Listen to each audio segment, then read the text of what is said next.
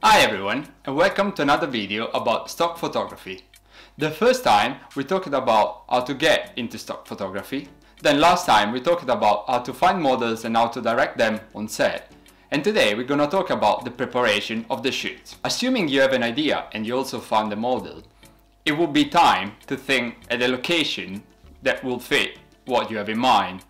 After all, if you want to shoot a group of friends having a picnic at park, you wouldn't go to the city center, right? If you're shooting close to where you live, you would already know the area and that definitely helps. But in general, I always find it useful to plan the shoot in advance. So let's say go to Google Maps, choose the point that you've thought about, and then explore the surrounding area and see how many different scenarios you could get nearby. And it's also good when planning an outdoor shooting to think about a plan B in case of rain. You will also want to check how the light will be in that place at different times of the day. And this is also true in case you're shooting indoor, as the light will come through the windows in a different way. All the things I've just said will be valid basically for every photography session. But when planning a stock shooting, there's another key aspect to consider, and that is to check if there's any legal requirements or restriction about the place you're shooting in or about anything that will be visible on background. The matter is unfortunately quite complicated and it takes definitely some time to get used to it.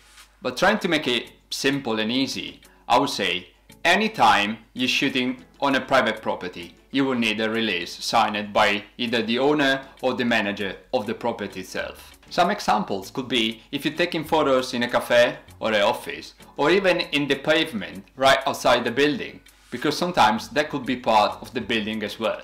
You will also need a signed release if you're including in the background things such as graffiti, artworks and many buildings too. And because in many cases it would be quite impossible to obtain a signed release for such things, my suggestion is plan in advance and try to avoid them at all costs. Few examples will be the Millennium Wheel, also known as London Eye in London, or the Louvre Museum in Paris, or the Stock Exchange in New York. And you can find a full list of all of them on many stock agencies' websites. A signed release will also be necessary for every person in the photo. Even if only one end is visible or if the person is seen from behind, they will still need to sign a release. So keep it in mind when shooting to avoid any possible issue later on. Both model and property releases could be found on any stock agency website, but my advice is to use the one provided by Getty Images as that will be accepted by every other agency.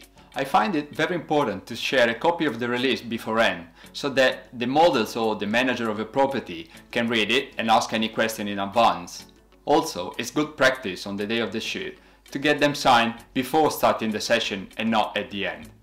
Last but not least, now that you've also chosen a location for the shoot, it's good to prepare a mood board, putting together all the ideas that you want to create and share it with everyone involved so they come prepared. And you can also use it while shooting to make sure you've gone through all the ideas and situations you had planned. If you need inspiration for some ideas, try looking around at advertising and commercial campaigns of some big brands. I usually find it quite useful. Now that you're ready, Go and enjoy the shooting and in the next video we'll talk about editing and submitting the photos to the agencies. Stay tuned!